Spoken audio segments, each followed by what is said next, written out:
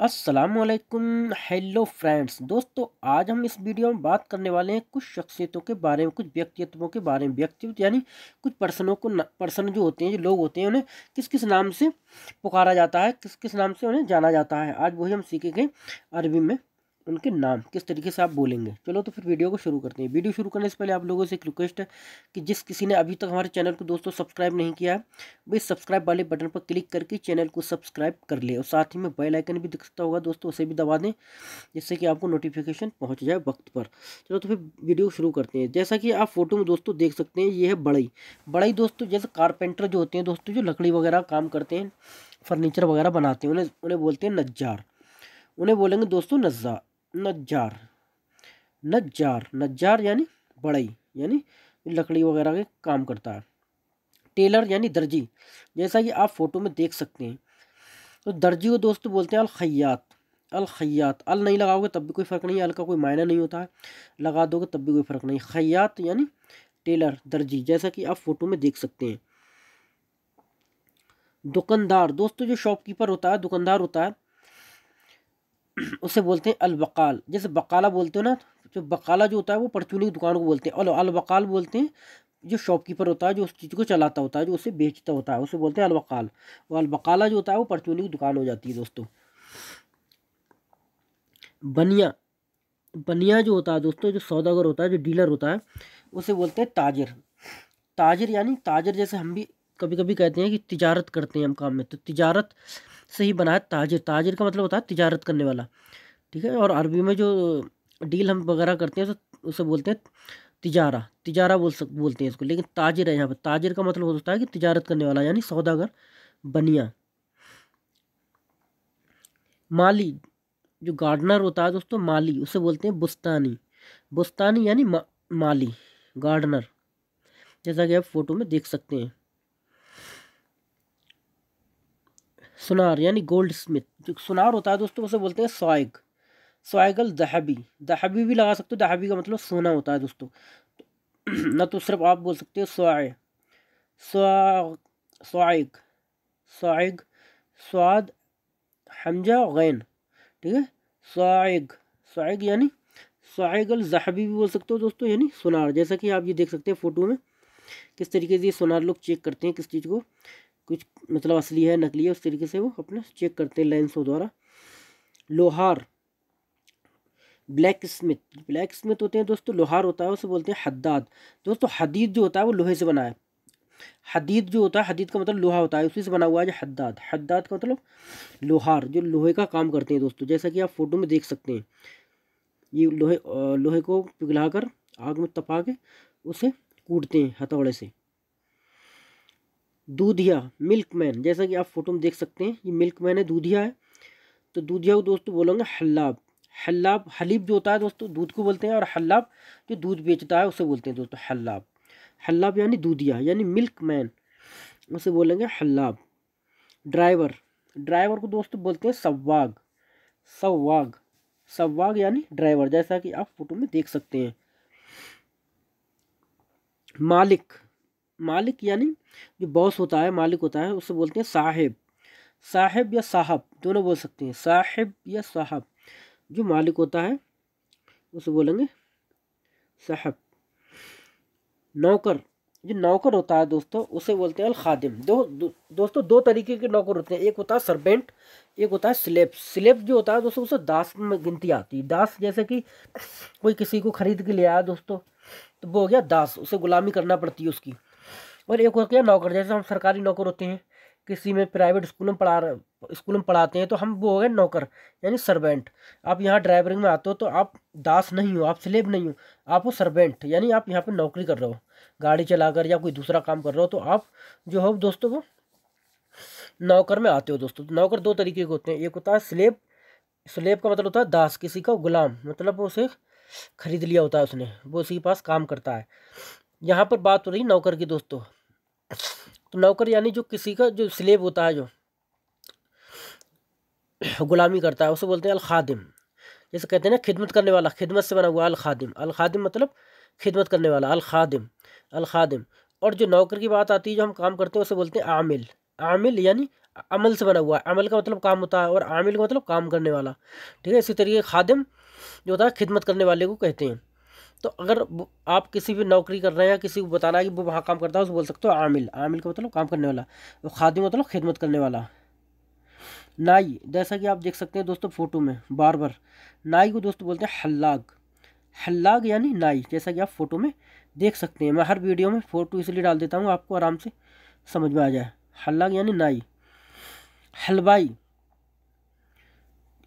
हलवाई को दोस्तों बोलोगे हलवानी। जो कौन स्पिनर होता है, उसे बोलोगे हलवानी। हलवानी। हलवानी। जैसे कि हलवाई है जो कन्फेक्शनर जो कन्फेक्शनर होते हैं दोस्तों, हलवाई होते हैं, उसे बोलते हैं हलवानी। नानवाई। नानवाई दोस्तों, यानी कि जो बेकर होता है दोस्तों, खाना जो रोटी बनाने वाला होता है, बेकर होता है दोस्तों, उसे बोलते हैं खवाज खवाज यानी खबूज से बना हुआ है दोस्तों। खबूज का मतलब होता है रोटी और खवाज का मतलब होता है रोटी बनाने वाला। तो रोटी बनाने वाला कौन होता है? नानवाई। तो यानी बेकर। तो उसे बोलोगे खवाज खवाज यानी रोटी बनाने वाला। कसाई यानी वचर जो वाउचर होता है दोस्तों, कसाई होता है, उसे बोलते हैं जज्जार। जज्जार। ये जज्जार लिखा हुआ है दोस्तों, हिंदी में यहाँ पर ध्यान नहीं देना। मैं जो बोल रहा हूँ वो ध्यान देना। जज्जार, जा के बाद निकालना, यहाँ की जो जे दिख रहा है। यहाँ पे हिंदी में तो मैंने जज्जार लिख दिया, क्योंकि हिंदी में अरबी में फ़र्क काफ़ी अंतर है। तो जज्जार जज्जार, ठीक है? जैसे ये ये होता है, जेट नहीं होता है जैट होता है। तो जा के बाद निकालोगे ना। जे होता है तो यहाँ पे जे लगा हुआ है तो जा के बाद निकलेगी जेट है तो जा की निकलेगी जैट। जैट, इसी तरीके से जज्जार जज्जार यानी कसाई, जैसा कि आप देख सकते हैं फ़ोटो में। चौकीदार चौकीदार वॉचमैन जो वॉचमैन होता है, चौकीदार होता है, उसको बोलते हैं अलहारिस। अलहारिस यानी चौकीदार, जैसा कि आप फ़ोटो में देख सकते हैं। दलाल दलाल जो होता है, दोस्तों, वो होता है पैसा खाने वाला दोस्तों, जो पैसा बीच में से खा जाता है तो उसे बोलते हैं दलाल। तो दलाल को दोस्तों बोलेंगे अरबी में दलाल। दलाल यानी ब्रोकर, जो ब्रोकर होता है दोस्तों, उसे बोलेंगे दलाल। यहाँ पे दलाल है, यहाँ पे थोड़ा आवाज़ थोड़ी सी ला थोड़ा सा और बढ़ जाता है। दल, ऐसे करके बोलोगे दल लाल, बस। यहाँ दलाल है, यहाँ दल लाल कर दोगे। दल लाल यानी जो बीच में पैसा खा जाता है। चोर चोर को दोस्त बोलते हैं अली बाबा या बोल सकते हो हरामी। दोनों बोल सकते हो अली बाबा जैसा कि आप देख सकते हैं चोर। धोखेबाज, यानी जो चीटर होता है दोस्तों, धोखेबाज होता है, उसे बोलते हैं खाइन। खायन खयानत से बना हुआ है दोस्तों। खयानत जो मतलब होता है किसी की चीज़ में आपको रखने की दी, वो आप उसे धोखा दे दिया आपने उसके उसका माल हड़प लिया, खा गए। उसे बोलते हैं खयाना। खयाना यानी खयानत करना। तो उसे बोल सकते हो खायन खायन या खयाना, दोनों कर सकते हो। सामना करने वाला, सामना करने वाला यानी स्ट्रगल करने वाला। तो उसे बोलते हैं जिहाद। जिहाद जिहाद। जिहाद का मतलब दोस्तों होता है किसी चीज़ का सामना करना। मतलब आप परेशानी में अपने घर का सामना कर रहे हो। आप अपने घर में किसी मुसीबत का सामना कर रहे हो। आप यहाँ काम करने आओ तो अपने घर का आप जिहाद कर रहे हो दोस्तों। जिहाद का मतलब होता है स्ट्रगल करना, यानी किसी चीज़ का सामना करना। अब वो किसी भी चीज़ के खिलाफ हो सकता है। ठीक है? सामना करने वाला यानी किसी चीज़ का स्ट्रगल करना। कंजूस कंजूस को बोलोगे दोस्तों वकील वकील यानी कंजूस। मालदार। मालदार यानी रिच रिच मैन जो जो मालदार लोग होते हैं दोस्तों, उन्हें बोलते हैं साहिबुल माल। साहिबुल का मतलब होता है बाले साहिबुल नार आग वाले, साहिबुल माल, पैसे वाले, साहिबुल। इस तरीके साहिबुल का मतलब बाले बाले में गिनती आती है इसकी। जैसे पैसा वाला तो साहिबुल माल। माल का मतलब पैसा होता है दोस्तों। ठीक है? साहिबुल माल यानी मालदार। साहिबुल माल गनी गनी भी मतलब दोस्तों होता है, मालदार। जैसा कि आप फ़ोटो में देख सकते हो।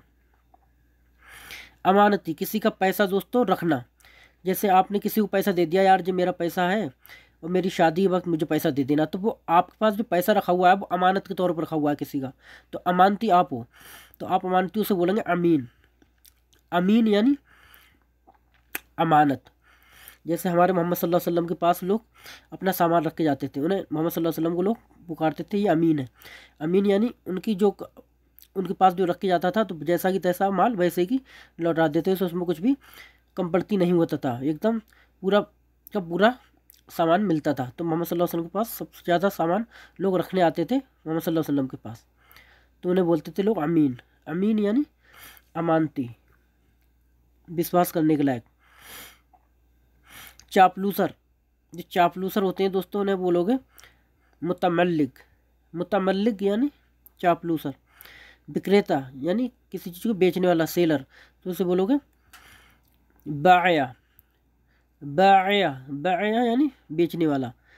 सब्जियों वाला। सब्जियों वाला बोले खुदरातल नफ़र। खुदरात बोलते हैं सब्जियों नफ़र का मतलब होता है आदमी। खुदरातल नफ़र यानी सब्जियों वाला आदमी। किराएदार। दोस्तों, किराएदार जो होता है, उसे बोलेंगे मुस्ताजिर मुस्ताजिर यानी किराएदार। तो दोस्तों, ये थे कुछ हमारे सत्ताईस जो हमारे शख्सियतों के नाम। तो अगला नेक्स्ट वीडियो हम और सिखाएँगे अभी करीब बीस बाईस जो शख्सियत हैं, पोस्ट हैं, उनके बारे में हम बताएँगे नेक्स्ट वीडियो, पार्ट टू में। तो दोस्तों, आई होप गाइस ये वीडियो आपको पसंद आई होगी। वीडियो पसंद आई तो वीडियो को लाइक करें, चैनल को सब्सक्राइब करें। चलो तो फिर मिलेंगे अब नेक्स्ट वीडियो के साथ। तब तक के लिए खुदा हाफिज़, बाय बाय।